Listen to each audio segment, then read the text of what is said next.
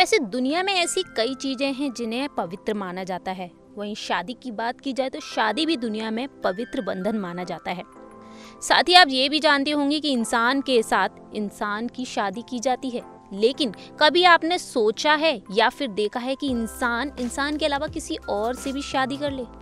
वहीं आपने देखा होगा कि कई केस में आप लड़की को लड़की से शादी करते देखते हैं, लड़के को लड़के से शादी करते सुना होगा। लेकिन आप ये शायद पहली बार सुन रहे होंगे कि एक इंसान को जानवर से शादी करते।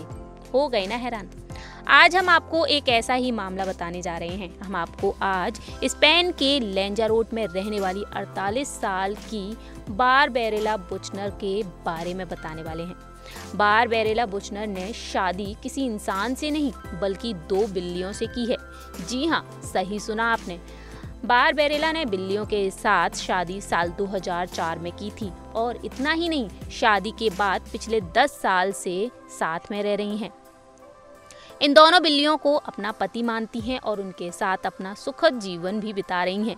साथ ही बता दें कि दोनों बिल्लियों के साथ शादी की दसवीं सालगिरह भी मनाई है। हालाँकि बार बेरेला का कहना है कि वे इन बिल्लियों के साथ चौदह साल से शादीशुदा की ज़िंदगी बिता रही हैं।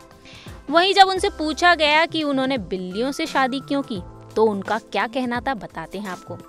उन्होंने बताया है कि प्यार की खोज में ज़िंदगी के लंबे अरसे बिता दी, लेकिन कोई सच्चा प्यार नहीं मिल पाया।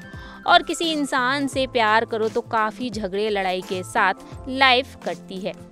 बार बेरिल ने अपने दोनों बिल्लियों का नाम स्पाइडर और लुगोसी रखा है। वहीं वो कहती हैं कि उनको इस बात से ज़्यादा खुशी किसी चीज़ में नहीं मिलती कि उन्हें बिल्लियों की देखभाल एक पत्नी की तरह करनी पड़ती है। बार बेरेला ने साल 2004 में इन दोनों बिल्लियों से शादी की थी।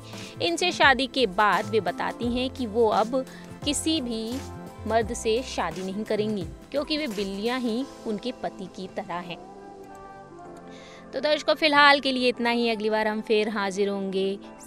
ऐसी ही रहस्यमयी और अजब गजब की बातों के साथ। तब तक के लिए आप देखते रहिए नेक्स्ट नाइन न्यूज़ से प्रांशी की रिपोर्ट।